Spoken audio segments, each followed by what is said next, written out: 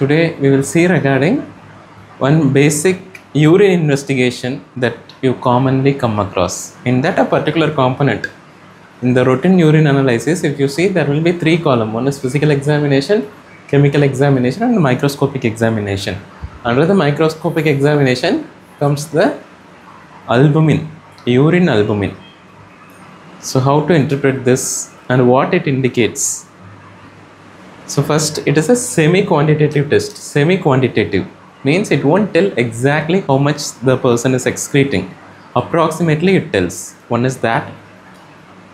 Second one is this is being done as a routine analysis, the urine basic investigation.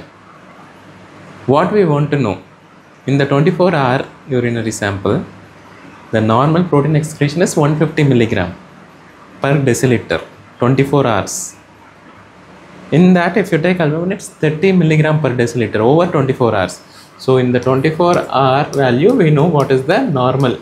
Albumin is 30 milligram per deciliter. Overall protein is 150 milligram per deciliter. This is regarding the normal thing.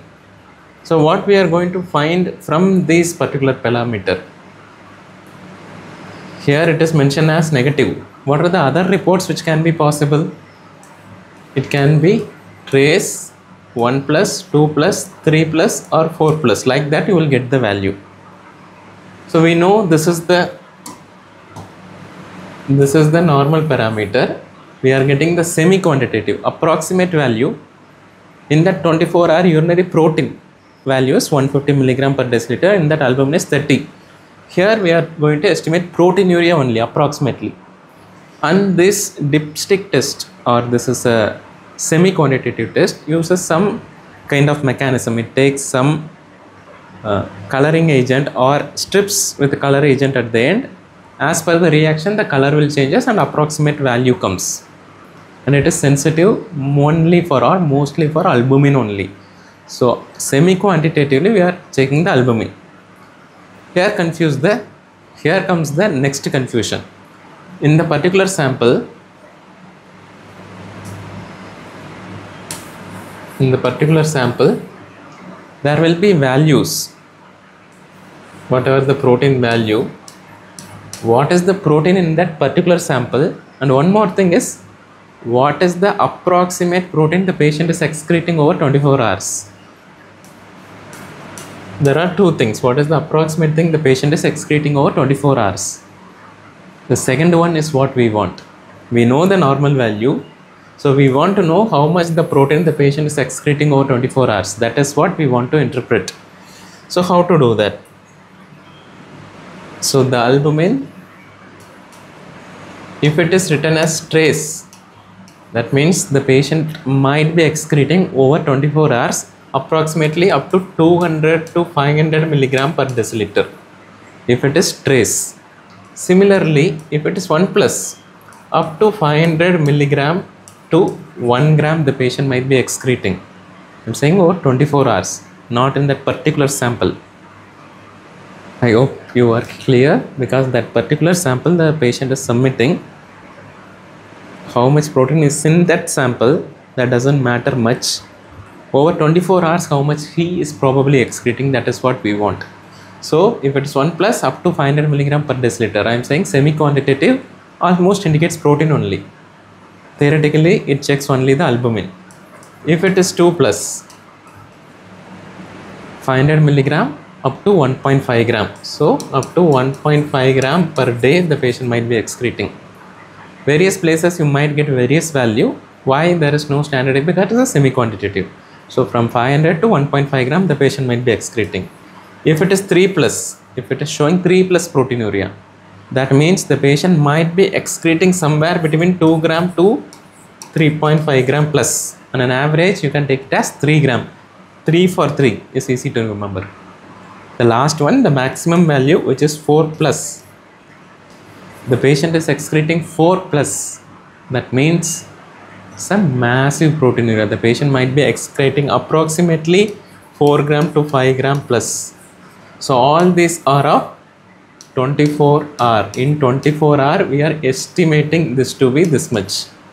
So it is a semi quantitative this is not a confirmatory test. You have to confirm with something else. If a medicine resident who is seeing this video whenever you find this value whenever you find this value always check patient serum albumin. Serum albumin will be very very low especially in nephrotic patient. You will get to know the patient is excreting a huge amount of protein. So that is why these values you should be aware. In a diabetic patient also this represents the same. This might not indicate the albumin. The only thing is if you want to know the exact albumin level you have to go for some other investigation which is urine albumin level in the form of urine albumin creatinine ratio. Urinary ACR or 24 hour urinary albumin value. That is what you have to get. So in this this in the chemical you might get these kind of negative trace 1 plus 2 plus 3 plus or 4 plus. I hope now you know how to approximate it. So this is for the 24 hour which is the answer we want to know. In that particular sample how much it is there that is also a calculation that might not be significant because with this we want to interpret how much the patient is excreting over 24 hours okay this is all about the urine albumin in the routine urine analysis.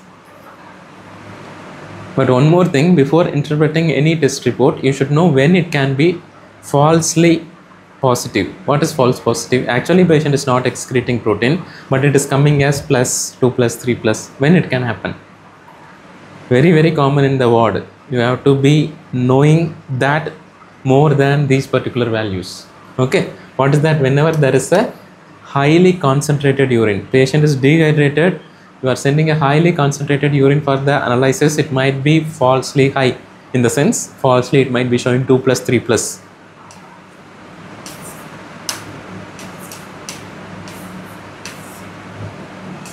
One is concentrated urine second one is highly alkaline urine. Sometimes drugs like sulfonylurea penicillamine. These kind of drugs can also cause false positive reports. 2 plus 3 plus can happen. And one more thing is uti fourth is in uti in uti in with some drugs concentrated urine alkaline urine sometimes a contaminated urine with the secretions genital secretion. If it is contaminated it might show positive so that is why you should know these details in the background to interpret this. This might giving a major clue. And suppose if it is negative one is false positive we have seen. What we have seen is one is false positive we have seen. False positive. When it can be positive but patient is not excreting. One more thing you have to know is when it can be negative but patient is actually excreting urine. When this can happen? When the patient is passing a way too diluted urine. A patient had a lot of water because that urinary sample container might be this much small. The patient might have excreted a very very diluted urine. That time it might be falsely low. So that is why this is not a the investigation for checking the urine. Yes it can be used as a screening test. What is the confirmatory test? 24 hour urinary sample always correlate with the serum albumin so this is all regarding this particular component in the urine analysis which is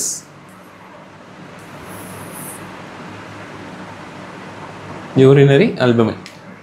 Bye bye we will see in the next video